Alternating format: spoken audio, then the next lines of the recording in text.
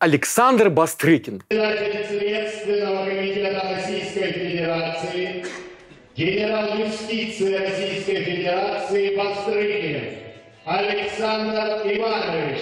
Вы удивитесь, но еще какие-то там 15 лет назад это имя было совсем неизвестно рядовому российскому гражданину. И вот рэпер Noise MC, кстати, уже довольно популярный, в те годы мог спокойно спать и даже петь свою песню из окна, и вовсе не опасаясь, что утром он будет объявлен национальной угрозой. А тихие московские переулочки в районе метро Бауманская еще не украсила собой стального цвета высотка, похожая на Скабан. Но в 2007 году Александр Бастрыкин стал председателем Следственного комитета при прокуратуре России. Ну и с тех пор прошло 15 лет, Следственный комитет разросся до отдельного государственного органа. И роль Бастрыкина в общественной жизни России выросла просто колоссально. Те задачи, которые вы ставите сегодня перед нашим следственным органом, мы с честью решим. Спасибо. Хорошо, работайте. В декабре 22 года глава Следственного комитета стал лауреатом премии «Юрист года 22» в номинации «Правозащитная деятельность». Ну, какая юриспруденция, такие правозащитники. Но все же, чем занимается Бастрыкин? За что его награждают? Откуда он вообще взялся? И вообще, как государство могло этому, деликатно выражаясь, эксцентричному человеку доверить такое важное дело? Меня зовут Павел Каныгин, и это разборы на канале «Продолжение следует». Сегодня мы поговорим про главу Следственного комитета, который очень любит телевизор, ненавидит рэп, и вы удивитесь, пишет стихи про Алексея Навального. Подписывайтесь на нас прямо сейчас, чтобы не потеряться. Вместе мы не одиноки.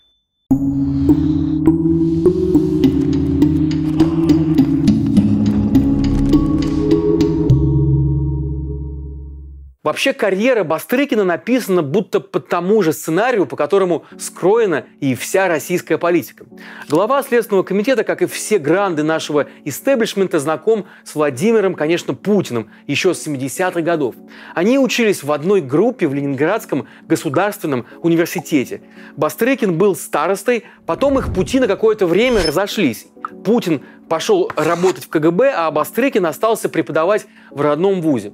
Ну, параллельно будущий глава СК продвигался и по партийной линии, занимая все более высокие посты в местных отделениях ВЛКСМ и КПСС. Судьбоносное для нашей страны время с октября 91 по январь 92 как следует из его официальной биографии, Бастрыкин не работал. Видимо, обладатель партбилета КПСС с ужасом наблюдал за падением Советского Союза. Однако в новых российских и конкретно петербургских реалиях он не затерялся. С 92 по 95 годы Бастрыкин занимал должность ректора Санкт-Петербургского юридического института. С 98 по 2001 год пост уже директора северо-западного филиала Российской правовой академии Министерства юстиции. В 2001 году он возглавил уже главное управление Министерства юстиции по северо-западному федеральному округу, где и оставался до 2006 года. А в 2007 году началась история уже вот этого следственного комитета, ведомства, которое можно считать личной вотчиной Александра Бастрыкина. Он возглавил СК сразу же после его создания и никогда не выпускал эту власть из рук. В 2008 году Александр Хинштейн опубликовал статью, в которой сообщил об иностранной недвижимости Бастрыкина. Хинштейн, известный в 90-х журналист, в нулевые еще занимался расследованиями. Это позже он превратился в одного из самых одиозных российских депутатов. А тогда, в 2008 году, он выяснил, что помимо жилья у главы СК имеется и бизнес в Чехии. Алексей Навальный продолжил расследование, начатое Хинштейном, и выяснил, что в седьмом году Александр Бастрыкин даже получил в Чехии Чехии вид на жительство. Сам Бастрыкин много раз и не очень убедительно опровергал эту информацию, но ему с трудом верится. Ну а теперь еще раз, давайте на секунду остановимся и проговорим это снова. Один из самых ярых путинских антизападников на самом деле очень на этот Запад стремится.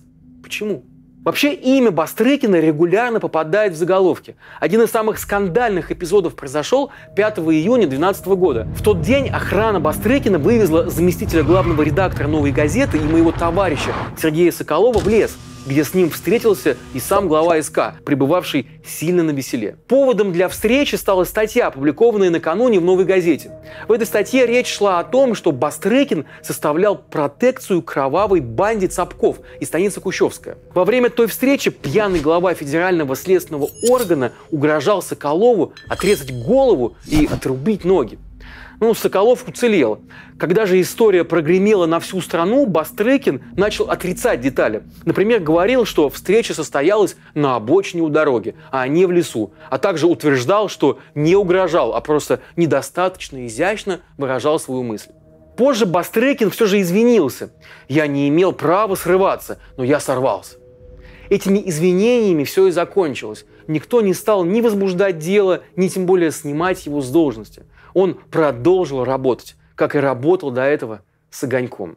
Вообще надо признать, что к своей следовательской работе Бастрыкин подходит с фантазией, правда в кавычках. В его прицеле оказываются самые неожиданные люди. До него, например, никто не мог и подумать, какую общественную опасность несут представители музыкальной индустрии. В октябре 2021 года СК РФ взялся за Моргенштерна. Его интервью проверяли на реабилитацию нацизма. Ну, также Бастрыкин выступил и с заявлением, что рэпер торгует наркотиками. Логан Моргенштерн сегодня торгует наркотиками, по сути дела. Ни одно из обвинений так и не было доказано. Однако Моргенштерн все-таки покинул Россию. На, на поезде через границу в Беларусь и из Беларуси самолетом в Дубай. В декабре 2021 года Александр Бастрыкин продолжил борьбу с рэпом. Следственный комитет обратил внимание на опубликованное в сети письмо с требованием проверить Нойза МС и Оксимирона. Вскоре, правда, выяснилось, что опубликованное в живом журнале заявление было шуточным. Но Бастрыкин же шуток не любит. Ну или не понимает. А что такое мем молодежи? Мем. Виртуальный мем началась проверка рэперов на реабилитацию нацизма и экстремизма. Спустя полтора года и Noise MC, и Оксимирон признаны иноагентами. Минюс, правда, добрался до них быстрее, чем Следственный комитет разродился уголовным делом. Или вот возьмем кино. Прежде никто не обращал внимания на его опасность, но, слава богу, в стране появился Бастрыкин. По его словам, зарубежное кино пропагандирует право сильного, эгоизм, приветствует насилие и убийства, совершаемые якобы во благо. А еще авторы западных фильмов пытаются переписать историю, чем мешают органичному развитию воззрений нашей молодежи. Впрочем, молодежи мешает не только Запад, но и ЕГЭ. Его Бастрыкин тоже называет пыткой. Отметь ЕГЭ Просто пытка какая-то для молодежи. Хуже, чем рэперы и фильмы, только интернет. И вот 69-летний Бастрыкин регулярно призывает блокировать разнообразные ресурсы, иногда путая их названия. Например, в 2018 году Бастрыкин перепутал Телеграм и Инстаграм, обсуждая теракт в Санкт-Петербурге. А между прочим, Инстаграм надо закрывать, потому что теракт в Ленинграде в прошлом году был совершен при помощи Инстаграм, отмечал глава СКРФ. Инстаграм, как мы видим, и правда закрыли, но вовсе не из-за Бастрыкина. В 2021 году, после масс-шутинга в Перми, Александр Бастрыкин заявил, что интернет, телевидение, социальные сети стали таким источником воспитания, который культивирует насилие, равнодушие к проблемам сверстников и безнравственность. Негативно глава СК отзывался и о киберспорте. Компьютерные игры, считает глава СК, отвлекают молодежь от более важных дел. Развращают, короче. Очевидно, что для Бастрыкина интернет – это враждебная неведомая технология и сила. Но иногда технологии могут быть и полезными. Например, в июне 22 года Александр Бастрыкин рассказал о своем походе к врачу. Побывал у врачей, офтальмологов. Ну да, поправить было немножко э, вот очки. Меня садят в кресло.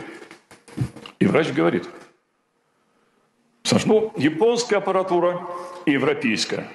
Но, тоже добавляет, но методы уже наши. То есть технология, трибуна, микрофон, их нет. А мы уже лечим нашими российскими методами и рекомендуем наши очки. Хотя очки не наши. Вот пример. Ну доколе так может быть? Аппаратура ихняя, методы нашинские. Запомните. Ну, поскольку в интернете один разврат и западная пропаганда, Бастрыкин сосредоточился на телевидении. Вряд ли в России есть чиновник, который смотрит телевизор так же внимательно, как Александр Бастрыкин, со знаменитой своей лупой. Глава СК регулярно высказывается на публике о телепередачах. То он скажет, что нужно защитить несовершеннолетних от информации, которая угрожает их благополучию, безопасности и развитию, то отругает ток-шоу и реалити-шоу за пропаганду деструктивного поведения. При этом речь идет именно о молодежных шоу, а не о пропагандистских политических. С ними-то все нормально. Телевизор для Бастрыкина еще и рабочий инструмент. Вот, например, в 2019 году он поручил возбудить уголовное дело о гибели жительницы Тобольска после того, как об этом рассказали в телепередаче Андрея Малахова. То есть глава Следственного комитета получил информацию не от подчиненных, а из телеэфира. В общем, если хотите помощи от Бастрыкина, лучше идите к Малахову. Писать заявление все равно бессмысленно. А вот еще был случай в 2021 году российские телеканалы активно рассказывали историю актрисы Светланы Светличной. Пожилая звезда покинула дом и не вернулась. Ее искали волонтеры и телевизионщики. Подключился и, конечно, СК. Когда Светличная нашлась, ее тут же стали приглашать в ток-шоу. Не остался в стороне и Следственный комитет, который спустя пару недель анонсировал разные мероприятия с участием звезды советского кино. И вот в ходе этих встреч Бастрыкин и Светличная даже обсуждали, как воспитывать молодых следователей. Никакого отношения ни к Следственному комитету, ни вообще к правоохранительной работе эта пожилая актриса не имеет. Но вот такой он затейник, Александр Иванович. Впрочем, не будем обвинять главу СК в тщеславии. В поле его зрения попадают и самые простые люди с их самыми простыми бедами. Был вот случай в Волгограде, где жители возмущались отменой троллейбусных линий. Волгоградцы просили вернуть в маршрутную сетку троллейбус номер 18. Жители Кировского района все последние годы требуют у администрации города восстановить троллейбусное движение в Кировском районе. И вот Александр Бастрыкин поручил возбудить дело и разобраться с проблемой, взяв расследование под личный личный контроль. Дело это, конечно, важное, федерального масштаба. В представлении главы СК даже и поважнее, чем расследование убийств российских журналистов ЦАР, например, или убийств Политковской и Немцова. В этих делах СК годами не может докопаться до истины, которая находится буквально у них под носом на что властям неоднократно указывали мы, независимые журналисты-расследователи. Впрочем, и в деле с троллейбусом Бастрыкин и его помощники оказались тоже бессильны. Добиться возвращения троллейбуса номер 18 так и не удалось. Видимо, дело в подчиненных, которые плохо работают. Но Бастрыкин с ними не церемонится, иногда даже устраивает им страшные разносы. Однажды он уволил сотрудницу за улыбку на совещании, а в 2021 году в сеть попала аудиозапись, на которой Бастрыкин отчитывает следователя из Петербурга. Главу Следственного комитета смутило, что в его городе работает лейтенант с Кубанщины. Это же не Ленинград, это же видно по поведению, по лицу и по внешности. Ленинград понравился, город понравился. Раньше тебя близко не подпустили бы. А сейчас можно. Вот поезжай себе обратно туда, на Кубанщину, казака. И расскажи, за что тебя уволили отсюда. Но это все семечки. Глава Пермского СК, например, вообще покончил с собой через несколько часов после встречи с Бастрыкиным. Крутой нрав у этого так называемого начальника. Друзья, этот выпуск стал возможен благодаря вашей поддержке. Благодаря тому, что вы смотрите нас и делитесь своими мнениями в комментариях. Рассказывайте о нас друзьям. Вместе мы делаем вклад в то, что больше людей переосмысливают происходящее и думают критически. И мы хотим продолжать. Но нам нужна ваша помощь. Поддержите нас любой комфортной для вас суммой. Даже небольшие, но регулярные пожертвования важнее крупных, но разовых. Все ссылки есть в описании к этому видео. Спасибо и остаемся вместе. Если Фемида должна быть слепой, то у следствия, напротив, со зрением все должно быть очень хорошо. В нашем случае главный следственный орган страны, помимо визуального анализатора, оснащен еще и чутким политическим компасом. Главный редактор Russia Today Маргарита Симонян опубликовала скан письма, в котором украинские военные приговаривают ее к смерти. Реакция Бастрыкина была молниеносной. Он тут же поручил своим подчиненным проверить высказывания украинских военных на наличие состава преступления. А позже было, ну конечно же, возбуждено и уголовное дело. Понятно, что перспективы его расследования в условиях войны нулевые, но тут важен сам принцип следования закону. По велению закона, по зову сердца, должны бороться с преступностью, обеспечивать законность и справедливость. Принцип этот, увы, распространяется не на всех. Например, когда в апреле 22 года главного редактора «Новой газеты» Дмитрия Муратова облили токсичным веществом в поезде, СК не сделал вообще ничего. Журналисты «Новой газеты» провели собственное расследование и нашли нападавших, но Бастрыкина дело вообще не заинтересовало. Зато в том же 22 году гарантии защиты от Бастрыкина получили пропагандист Владимир Соловьев, глава Чечни Рамзан Кадыров и даже генерал Сергей Суровикин. На каждого из них украинские власти заводили дела, а глава Следственного комитета заводил дело в ответ. То же самое приключилось и с сотрудниками Международного уголовного суда, которые объявили Владимира Путина в международный розыск в рамках расследования вывоза украинских детей на территорию России. Теперь представители Международного суда ищут российские следователи, а если найдут, арестуют и предадут суровому российскому суду. Это вот работа, которая захватывает но захватывает по-настоящему тех людей, которые имеют чувство долга, совести и необходимость помочь человеку в его беде. Впрочем, что это мы все о работе, да о работе? Разве можно сводить человека к одной только работе? Даже если это такой серьезный человек, как Александр Бастрыкин. Знаете ли вы, что Александр Иванович пишет еще и стихи? Да-да, на портале стихи.ру у него есть даже собственная страничка, на которую подписаны 14 тысяч человек. На том же портале легко можно разыскать и стихи поэта Станислава Струневского.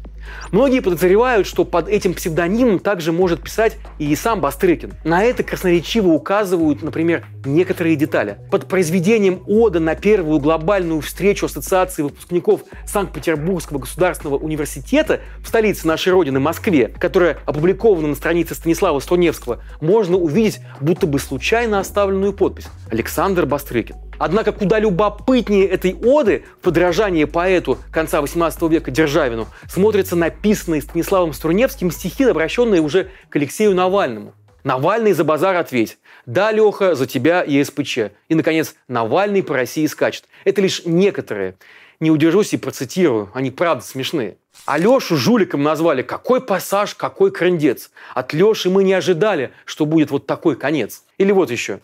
Навальный по России скачет, народ на митинги зовет. С чего вдруг? Странно. Кто-то скажет, чего орет, к чему зовет. Но обратите-ка внимание, с чего Навальный заскакал, когда услышал понимание, что он как подленький шакал. Слушайте, ну а теперь давайте все-таки серьезно. Вам не кажется, что у главы СК есть серьезные проблемы с психикой? Ладно бы только стихи. В мае 23 года журналисты заметили в музыкальном сервисе Spotify исполнителя Александра Бастрыкина. На его слова записаны четыре трека. Интересно, а Путин на досуге тоже пишет стихи и песни? Пребывает в беспробудном угаре и ненависти ко всему необычному и непонятному.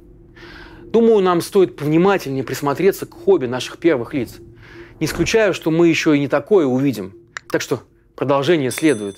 И помните, что мы не одиноки.